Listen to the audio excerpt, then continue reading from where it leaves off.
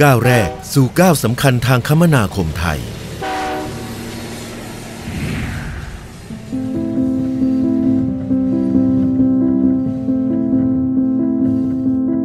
กิจการรถไฟไทยได้ถือกำเนิดขึ้นในรัชสมัยของพระบาทสมเด็จพระจุลจอมเกล้าเจ้าอยู่หัว รัชกาลที่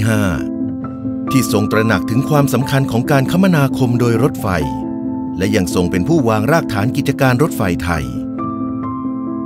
โดยเส้นทางรถไฟเที่ยวปฐมฤกษ์เริ่มต้นออกเดินทางเมื่อวันที่ 26 มีนาคม พุทธศักราช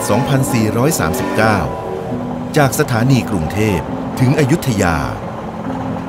บนเส้นทางสายกรุงเทพนครราชสีมา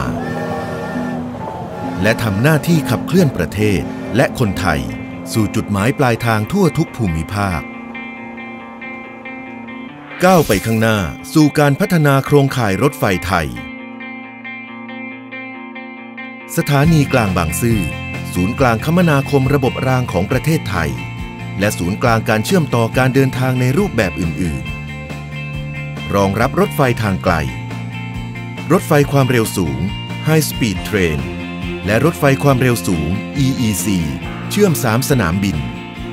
รถไฟฟ้าชานเมืองสายสีแดง และ Airport Rail Link เชื่อมต่อกับระบบขนส่งอื่น ๆ เช่น รถไฟฟ้าสายสีน้ำเงิน สายสีเขียว สายสีม่วง สถานีขนส่งผู้โดยสารกรุงเทพท่าอากาศยานนานาชาติดอนเมือง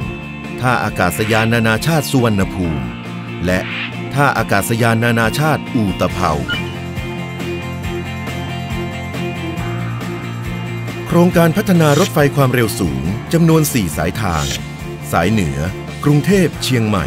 สายตะวันออกเฉียงเหนือ กรุงเทพหนองคาย สายตะวันออก กรุงเทพ ระยอง สายใต้ กรุงเทพปาดังเบซา เส้นทางแรก กรุงเทพนครราชสีมา พร้อมเปิดให้บริการในปี 2566 ใช้เวลาในการเดินทางเพียง 1 ชั่วโมง 30 นาที รถไฟฟ้าชานเมืองสายสีแดง เชื่อมโยงการเดินทางระหว่างพื้นที่ใจกลางเมือง กับพื้นที่ปริมณฑลได้อย่างสะดวกและรวดเร็ว ในระยะแรกประกอบด้วย สายสีแดงเข้ม ช่วงบางซื่อรังสิต สายสีแดงอ่อน ช่วงบางซื่อตลิ่งชัน และทั้งสองเส้นทางจะขยายออกไปสู่ชานเมืองทำให้การเดินทางจากชานเมืองสู่พื้นที่ใจกลางเมืองทำได้อย่างสะดวก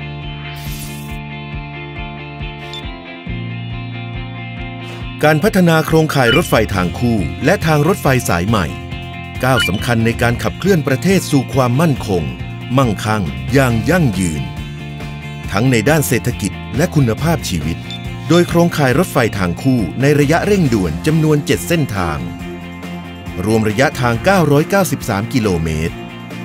โครงข่ายรถไฟทางคู่ในระยะที่ 2จำนวน 7 เส้นทาง รวมระยะทาง 1,483 กิโลเมตร และโครงข่ายทางรถไฟสายใหม่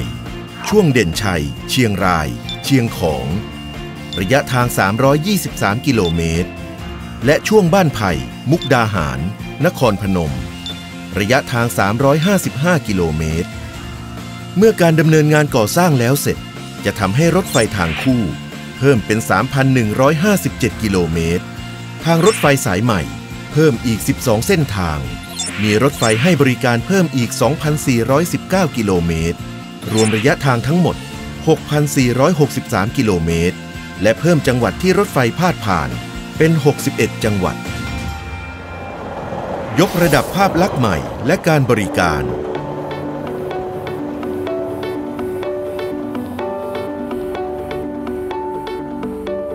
ด้วยการออกแบบสถานีใหญ่ โดยโครงสร้างทางสถาปัตยกรรม จะมีเอกลักษณ์เดียวกับท้องถิ่น การพัฒนาศูนย์ขนส่งสินค้าทางรางทั่วประเทศ รองรับการขนส่งสินค้าและระบบโลจิสติก อำนวยความสะดวกแก่ผู้ประกอบการ และการบริหารต้นทุนในระบบขนส่งสินค้าได้อย่างมีประสิทธิภาพ การแก้ปัญหาจุดตัดทางรถไฟ เพื่อลดอุบัติเหตุ เพิ่มความปลอดภัย และลดปัญหาการจราจร ด้วยสะพานรถยนต์ข้ามทางรถไฟ สะพานรถไฟข้ามทางรถยนต์ สะพานกลับรถแบบเกือกม้า ทางลอดใต้ทางรถไฟ ทางบริการข้างทางรถไฟ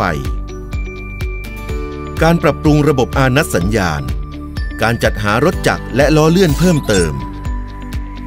เพิ่มความสะดวกแก่ผู้โดยสาร ด้วยการพัฒนาระบบจำหน่ายตั๋วโดยสาร และสำรองที่นั่งรถไฟ ผ่านระบบดีทิเก็ตและช่องทางจำหน่ายตั๋วออนไลน์ทุกรูปแบบ การรถไฟแห่งประเทศไทย พร้อมก้าวไปข้างหน้าอย่างเต็มระบบ เพื่อสารต่อพระราชวิสัยทัศน์ ของพระบาทสมเด็จพระจุลจอมเกล้าเจ้าอยู่หัว รัชกาลที่ 5 เป็นนกลไกสำคัญ ในระบบคมนาคมทางราง ทั้งการเดินทาง และการขนส่งโลจิสติก ให้สะดวก รวดเร็ว และช่วยลดต้นทุนการขนส่ง ส่งเสริมการท่องเที่ยว สร้างโอกาสทางการค้าทั้งในระดับภูมิภาคและระดับประเทศ ยกระดับคุณภาพชีวิต เติมเต็มทุกรูปแบบการเดินทาง